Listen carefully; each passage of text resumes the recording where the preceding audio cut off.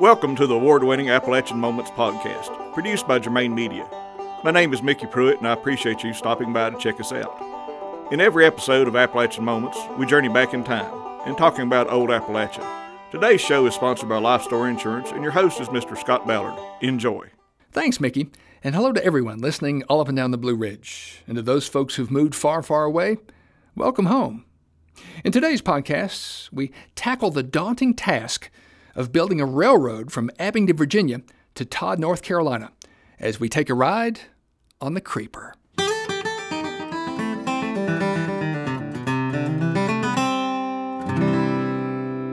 For nearly 20 years, beginning in the 1880s, the prospect for a railroad coming into the mountains of Virginia and North Carolina looked bleak.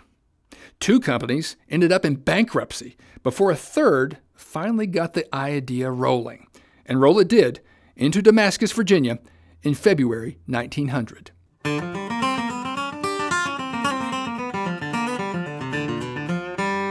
Men hauled the surveying tools of the day, including a compass, a chain, a transit, and a level while scampering through the woods, over the hills, and across creeks. All that hammering of stakes into the ground was certainly quite a sight for all the locals. Astounding was the creativity and vision of those first surveyors who plotted the course for the railroad as it snaked its way to White Top in 1912 and then to Todd a few years later. The full trip from Abingdon to Todd was only 76 miles.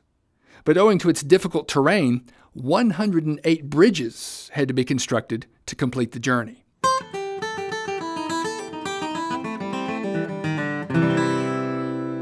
According to news reports at the time, on May 12, 1915, the Creeper pulled into the Elkland Depot amid spooked horses, barking dogs, folks waving from their homes, and children running alongside in the pouring rain. In the beginning, the train ran every day but Sunday.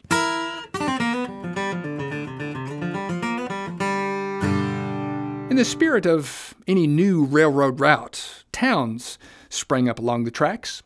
White Top, Virginia had a hotel, a doctor, a dentist, and 500 residents. And at the peak of its boom time, Todd boasted two doctors, a dentist, one bank, seven stores, three mills, two hotels, and the first car dealership in the county, an ominous sign of things to come. It was always an event when the train arrived, as it was the main link to the outside world, or what folks called the yawn end.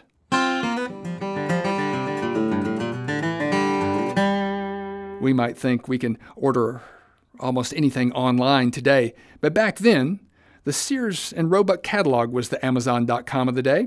And when the train arrived, railroad men unloaded wringer washers, Victrola record players, sewing machines, farm implements, and even Ford automobiles to be assembled on site.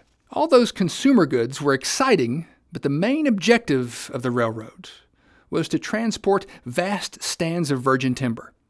Huge stacks of red spruce from Mount Rogers, along with massive oak and chestnut from North Carolina, filled flatbed cars. The tremendous weight of these enormous logs gave rise to the train's nickname, the Virginia Creeper.